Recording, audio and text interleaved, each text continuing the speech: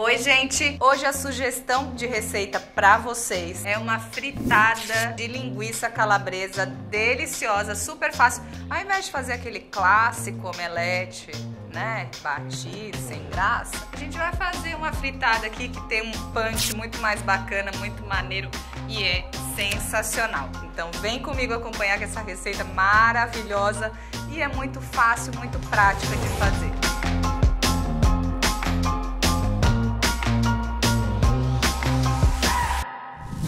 Para fritada, muito simples. Primeiro a gente vai cozinhar a batata. Eu vou usar duas batatas daquela inglesa ou Mona Lisa. A gente vai cozinhar em água fervente, mas não cozinha muito, tá? Só para ela ficar macia. Porque depois a gente vai passar essas batatas no ralo grosso. Espera esfriar, óbvio e depois passa no ralo grosso. Batatas raladas, agora a gente vai pra panela para refogar a calabresa. Então numa frigideira vou colocar um pouquinho de azeite, aí eu vou refogar meia cebola picada e um dentinho de alho picado e vou acrescentar a calabresa picada também em cubos. Deixa ela refogar bem, pode colocar um pouquinho de sal, lembrando que calabresa é salgada, só uma pitadinha de sal e pimenta do reino. Refoga bem. Se quiser colocar umas ervinhas também pode, tipo orégano, que ainda dá um sabor ainda mais maravilhoso. Depois que ela refogar bem, a gente vai reservar e deixar esfriar um pouquinho. Quando a calabresa esfriar, a gente vai misturar tudo. Vamos misturar a batata ralada. Vou colocar também dois ovos que vai dar, né, o formato da nossa fritada. Depois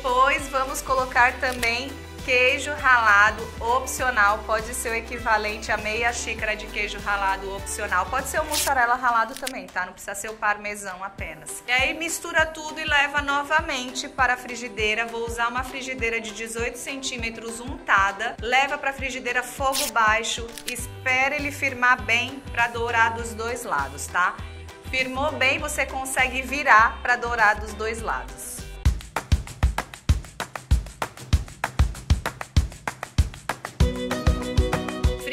Fritada e não omelete sem graça maravilhosa.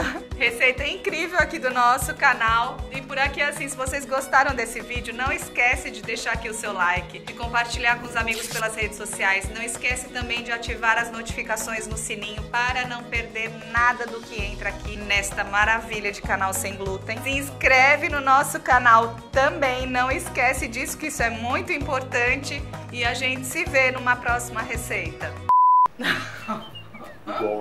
Igual o náufrago. Aí você come bolo de banana. Primeiro eu comer os cocos.